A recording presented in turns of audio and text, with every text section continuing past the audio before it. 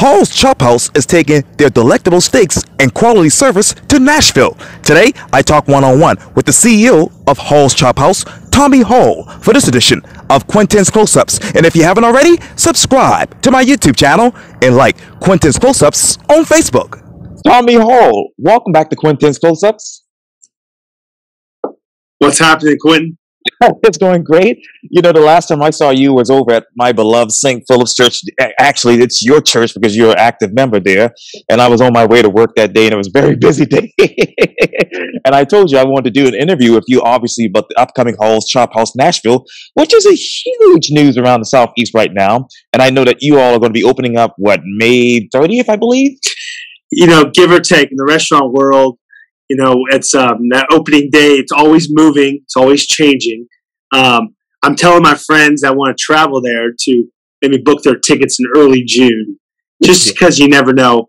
Um, there's Memorial Day in, in the mix there, and that is May uh, 30th. Right.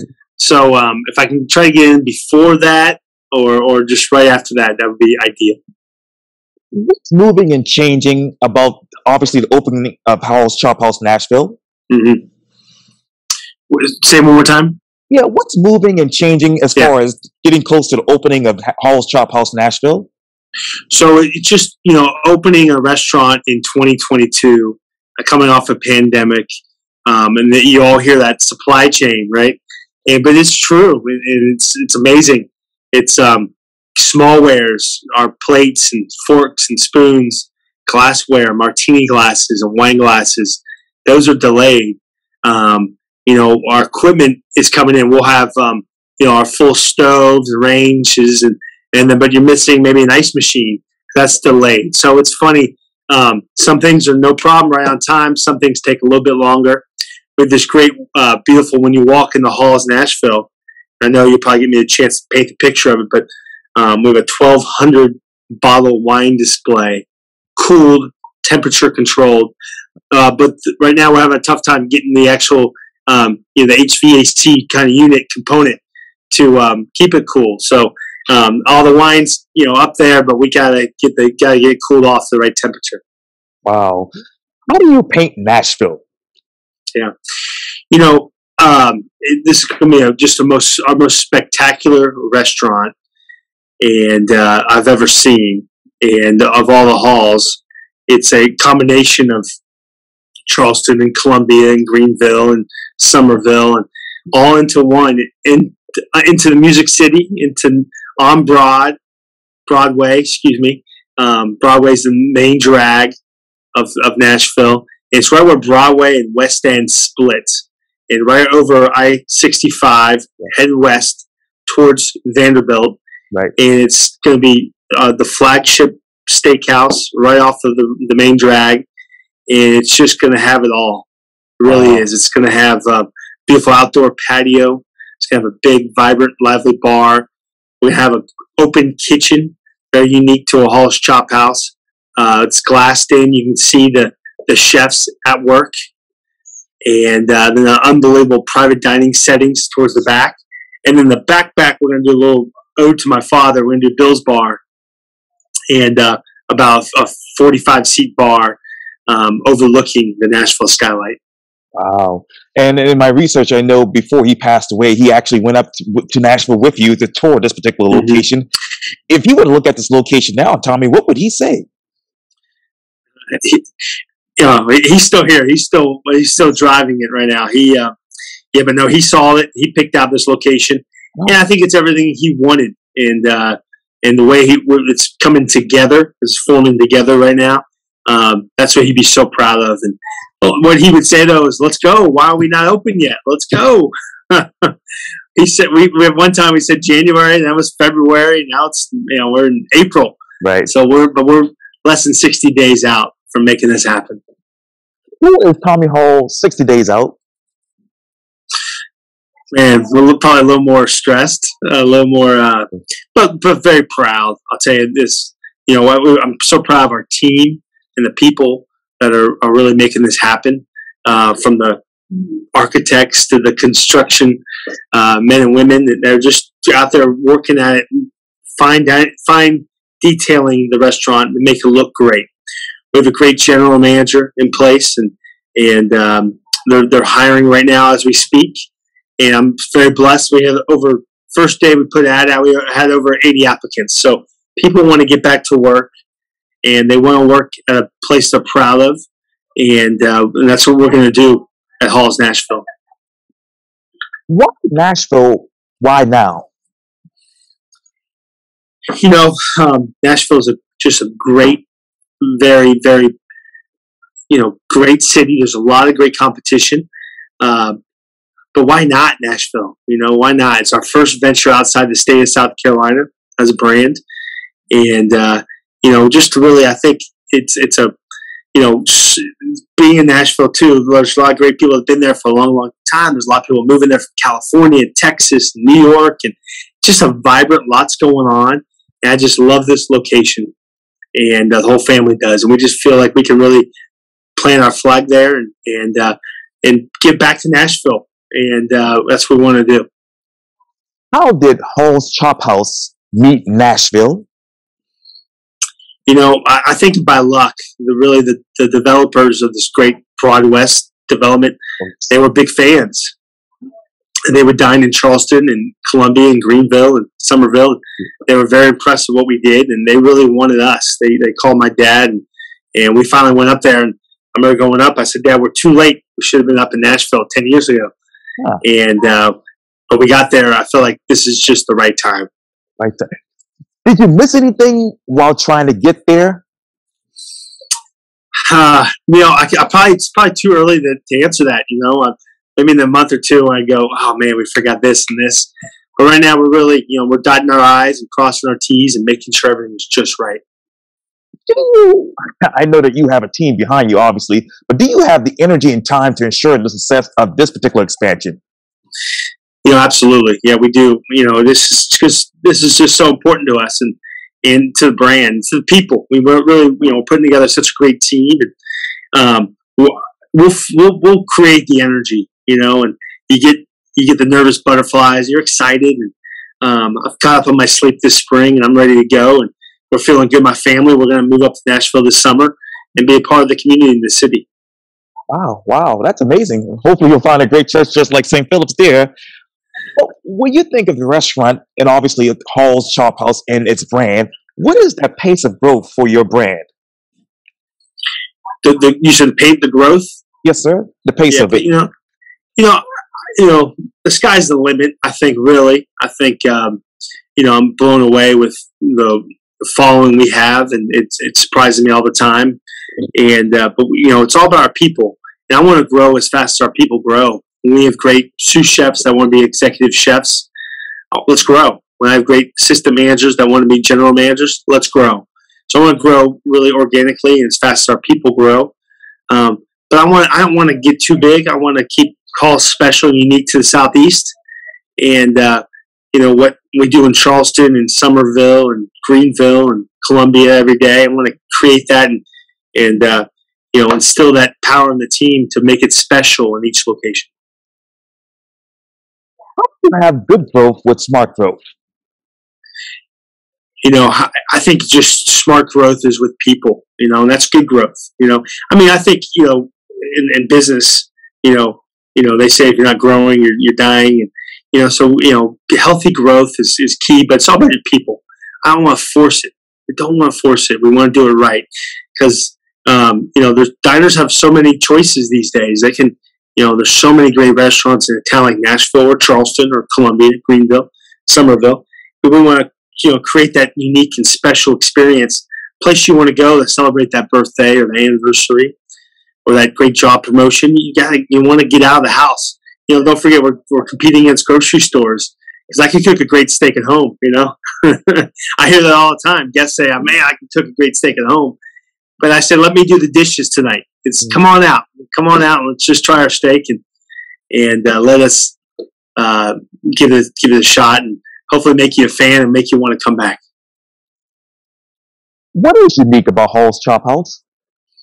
You know, it's our people, our hospitality you know, it's how you feel when you walk in that front door, that first handshake, um, to you walking out into the beautiful night, and just feeling not only fulfilled and satisfied, you get your money's worth of the food you pay for, and, um, but just you feel good about life, and um, that's that's what it is. That's what's unique. And it's it's family still, even though we there's um, more restaurants than we've ever had before. There's mm-hmm. still it's a family operation. We just we care. We care about every guest walking in and out of our front doors.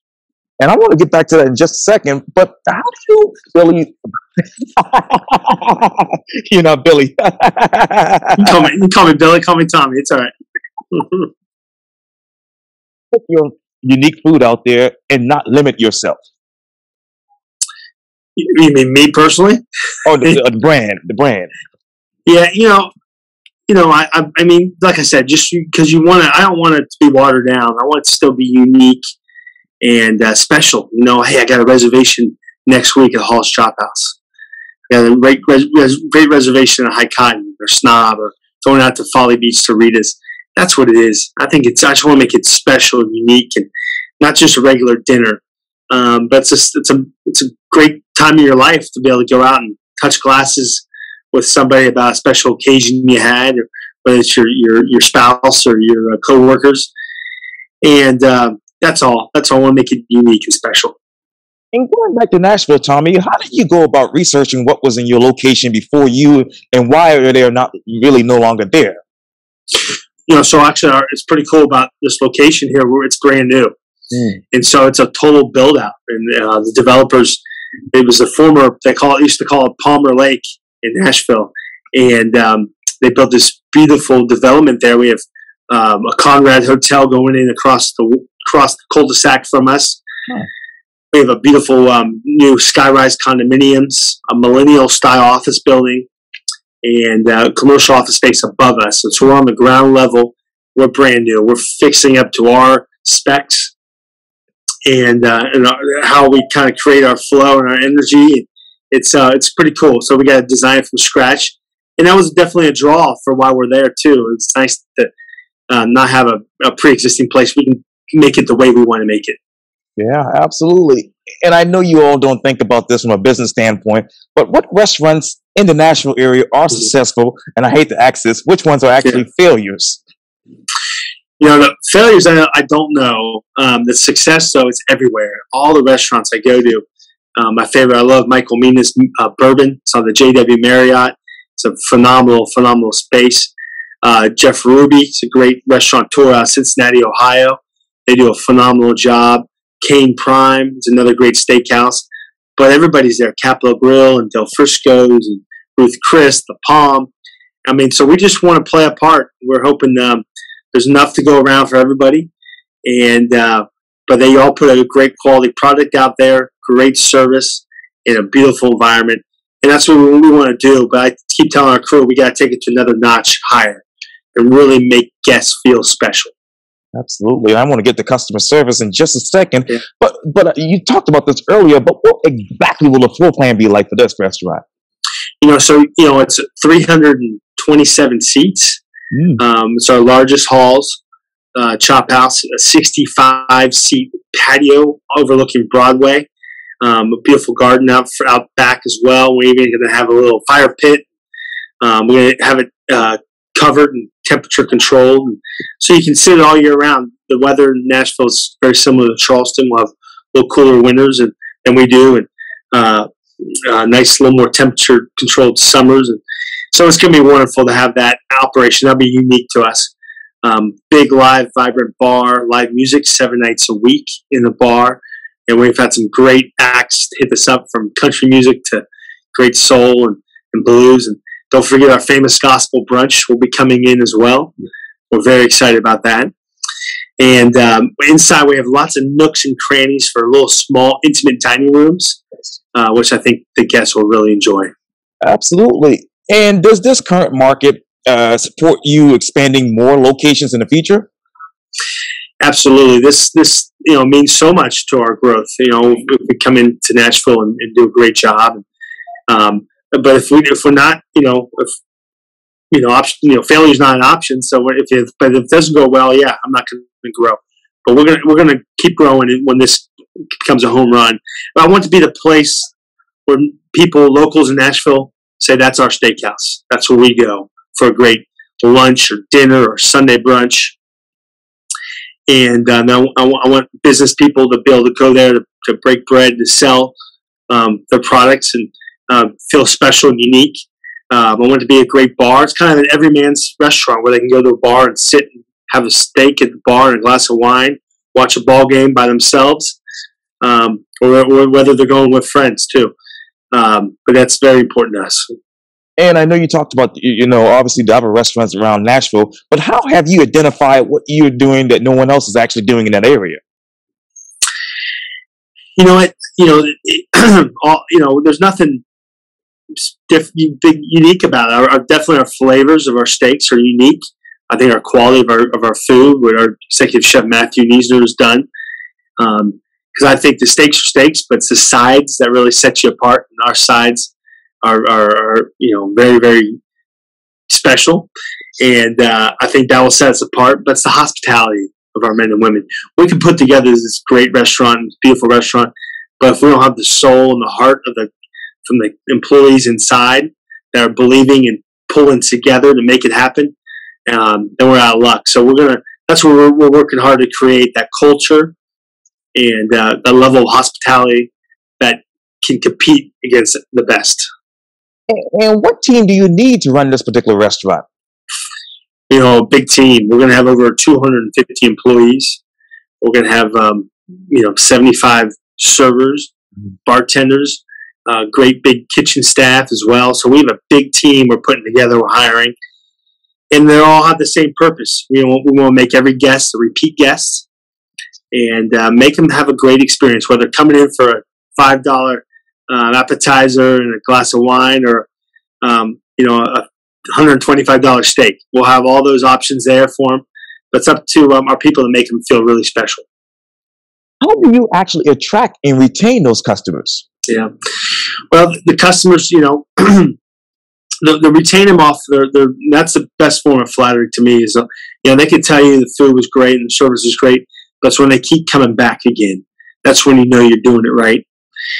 And uh, but yeah, the, to to attract them, hopefully, our you know we're going to market. We're going to make make people aware of what we are and who we are and what we've done in Charleston. We've got some great accolades, and hopefully they'll come and give us a shot. And once they give us a shot, it's up to us to really capture them and uh, make them feel special when they want to come back again. So we'll, we'll continue to work hard on that. What was the world of fine dining before Hall's Chop House? Man, you know the fine dining is changing constantly. Um, you know we've we've gone from a period where people were scared to come to a restaurant and I, you know, we still see it too. They're very, you know, it's to be around so many people and to, you know, take a mask off and uh, exhale, relax. You know, that's fine dining. It's, it's, you know, let us treat you. You're our guests in our house, and uh, you know, let us meet your needs. And if it's not right, let's fix it. That's fine dining. We care. We want you to have a great experience. You give us an hour and a half, two or three hours of your time today to break bread. Let us take care of you. So we've adjusted through the pandemic, and um, you know people are feeling good. But now, you know, I know TV news and things are changing, or we're watching that closely, and um, mask mandates and stuff like that. But we want guests to feel comfortable and um, come in there in a clean, safe, warm environment where they can um, live life and enjoy. What was the biggest difference about customer service when when you began in the fine dining mm-hmm. Arena to right now? Uh, I think it's I think it's the you know we actually have to work harder now uh, than ever. You know, I think expectations are, are are high. I think there's so many great restaurants out there that really raise that bar up. We got to continue to push the envelope, you know, because it's in the details, in those small little details that really make it special. And so we work hard at finding those details and those connecting moments with the guests um, to make them feel comfortable. That's what it is. You, you know, you connect with them to make them feel comfortable, put them at ease, and then do your job. Put out great quality food and great, great quality environment, and that goes a long way. So, but yeah, from the difference from when I began in, um, you know, 1995 and uh, to today, 2022, it's just we have to work harder. Mm. Expectations are out there. Guests expect it, and they're paying for it. Prices are higher than ever. It's it's expensive. Uh, I'm I'm aware of that. You know, I'm a father of two, and for me to bring my family out for lunch or dinner, it's it's a challenge. And um, so we have to make sure that guests are getting their money's worth and fulfilled, and uh, we got to take care of their needs harder than ever. And what are those other challenges, Tommy, that worry you right now about the future of the restaurant business? You know, uh, you know, our, you know, our what we do in the fine dining world is so unique. You can't buy it on Amazon. You can't order it um, on Uber Eats.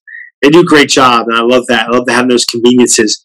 But to get out of the house and, and get dressed up and come to a restaurant, you know, it's um, you know, it's just something unique that you know it's just I think that's it's just a thing. I think it's going to be more you know uh, more special and unique for the future in 10 years. You know it's it's a big deal. And it's changed. You know back in the day it was dinner and a movie dinner and a play. What are we doing on friday night?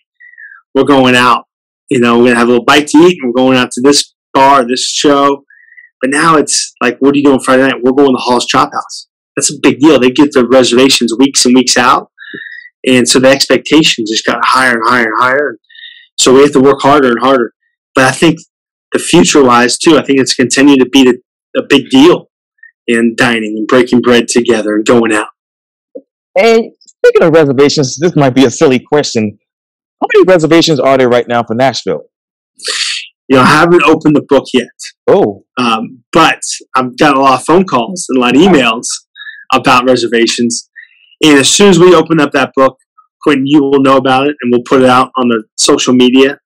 And because uh, we want everybody to get a chance to come see this beautiful restaurant, because I'm telling you guys, it is unique, it's special, and uh, I want to be written about for a long, long time. And um, you know, it's got the footprint of my dad and, and what he started, and, and we want to keep that legacy and grow it.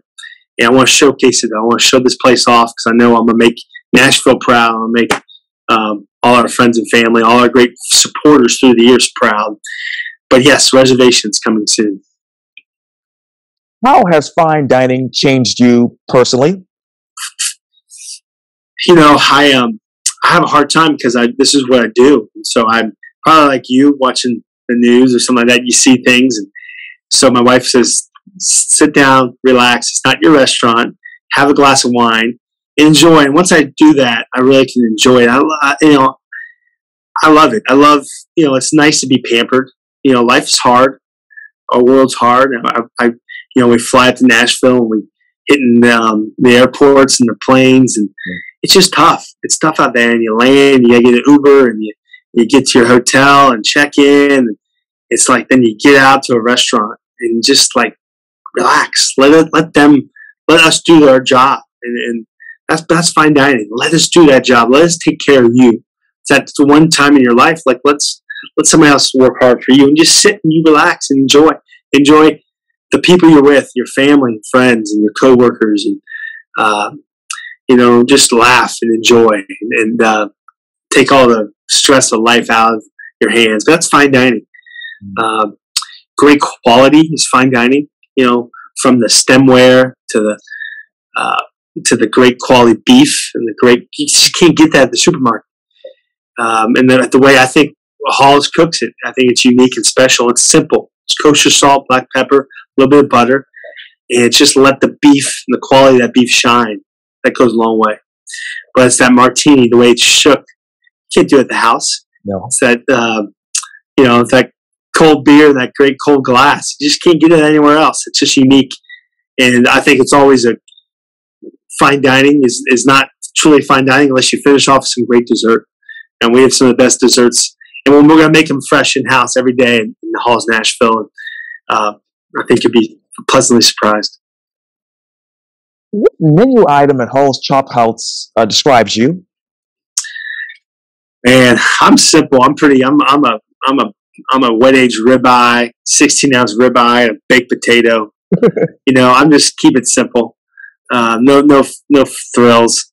Um, I'm, I'm you know, blue collar, hard working. Let's go. Let's get it done. And, um, to hardly get a chance to actually sit and enjoy. A lot of times I'm eating that steak standing up by the kitchen. Yeah. Uh, but that's that's what I love, and that's kind of who I am.